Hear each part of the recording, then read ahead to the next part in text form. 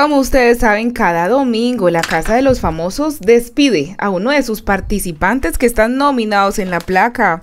En esta oportunidad se encontraba Julián de los Galácticos, Ornella, Karen y La Segura. Estaban en placa de nominación siendo Julián el único galáctico, tenía más posibilidades de salir de la placa, pues ya que sus demás compañeros, pues el apoyo de ellos sería brindado para Julián.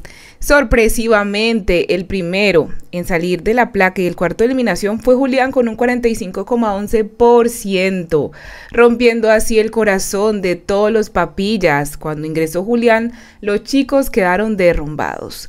Luego quedaban todavía Ornella, Karen y la Segura. Se sentía un ambiente muy triste y tensionante y aunque Ornella estaba convencida de que ella sería la eliminada, sorprendentemente con un 24,26% fue la segunda persona en salir del cuarto de eliminación y regresar a la casa.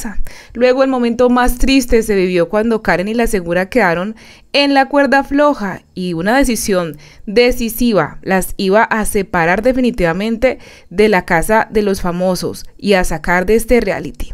Lo cierto es que con un 16.90% y diferencia de un 13,67%, la Segura fue la eliminada de la casa de los famosos. Karen y la Segura no evitaron llorar de la frustración y obviamente de tener que separarse. ¿Qué opinan ustedes?